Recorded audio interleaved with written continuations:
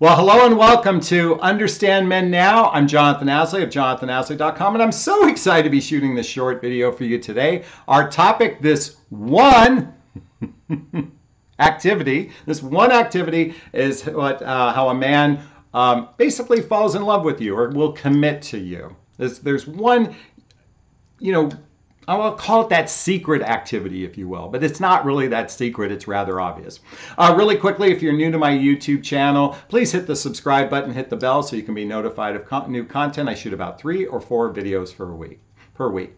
All right, what is it that's going to take for a man to commit to you? What's that one secret that you haven't really explored? And that's what I want to talk about today. Because I think a lot of you missed the bus on this one. You've you know what? You had the you were on the bus in your 20s, actually in your teens in your 20s, but I think you forgot this, and I think many of you have forgotten this, and we're going to talk about why it's been forgotten. So, I was re- recently watching a show on uh, Netflix called Love on the Spectrum. Love on the Spectrum. By the way, if you've seen this show, please post a comment below. I got to tell you, I watched this show. I was immediately crying right from the get go. This was autistic people and Asperger's such, and I don't know if that's the appropriate terminology or not, who were in their 20s trying to find love in their lives. And it was so adorable and was so cute. And the parents were so loving and supportive. I, it just touched my heart. It, it's only five episodes, they're 40 minutes each. Go do a binge on it. You know, it's interesting if if people with autism and disabilities can find love, then you can too. But what's unique about them is that they actually operate with not as much ego that most people operate. We most people operate based on a lot of ego, like I need all these boxes checked of status and looks and all these things, whereas autistic people are like, I just want to connect with someone for the most part. I mean, they want to feel chemistry. Um, but what's also interesting is they lack filters. They literally speak their mind. I mean, they're documenting documenting these dates, and at the end, he's like, "I don't want to see you again. Bye." no filter. It's actually kind of cute. Wouldn't it be great if we could just be honest with everyone and just say, I'm not interested after a date? But boy, we're afraid of hurting people's feelings. Gosh, we are so protective of everyone else's feelings and saying, instead of saying, you know what, this isn't right for me and I want to wish you all the best.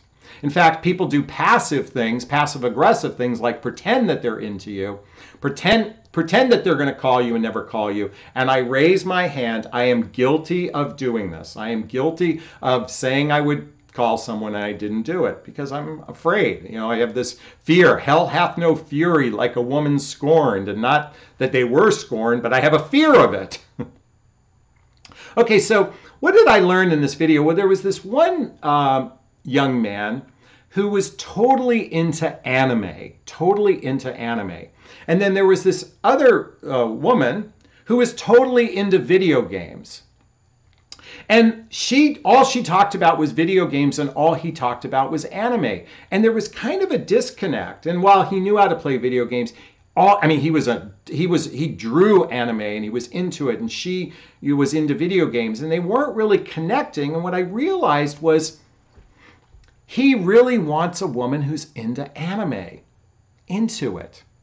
And so I thought to myself, when you look at some of the best relationships, they share this one thing in common, and that is they have a common passion, a common passion, a common activity that they share. And I've shared this story before where I met a woman years ago, about a decade ago, and on our second date, she pulled out a deck of playing cards. And, and she said, Do you play gin rummy?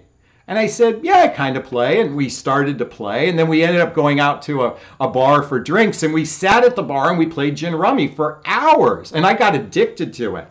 And every time we got together, we played um, cards together and I loved it. I was looking forward to it. And even though I was kind of like not really that into her, I was so into that that it kind of kept me a little longer in the relationship. But I and, and then as soon as we stopped seeing each other and we would kind of transition to friends, the next woman I met, I'm like, Do you play gin rummy? I wanted to play gin rummy with someone I'm in love with, kind of thing. And not that gin rummy is my game per se, but I got so into the activity that it became a fun thing to do. And what I see in a lot of relationships today, ladies, you guys are in passive relationships. You're in relationship that you're not really doing shit together. You're not really you don't share this common bond. It might be riding bikes at the beach. I live at the ocean. It might be hiking you know, my best friend in his relationship, they went hiking every weekend. It was some an activity they loved to do. Some people it might be going to museums, some people it might be shooting pool together, but it's doing something together. I think of my mom and dad. I grew up my my mom and dad every night when my dad came home, he, you know, said hi to the kids. He took some time for himself. We all had dinner. And after dinner, the kids went off to do something. And my mom and dad went in the backyard and they played backgammon. And they played backgammon every night, every night, every night. And you would think it was World War III when they played. Oh my gosh. They played a dollar a game. And it usually was a dollar back and forth. But they were so passionate about it. They did it for as long as I could remember. My mother and father played backgammon on a regular basis. They had passion for it. They shared this common activity.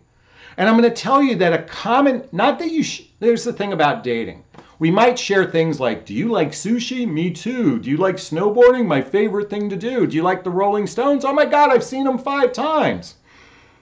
But that's not the same as developing a root in that activity.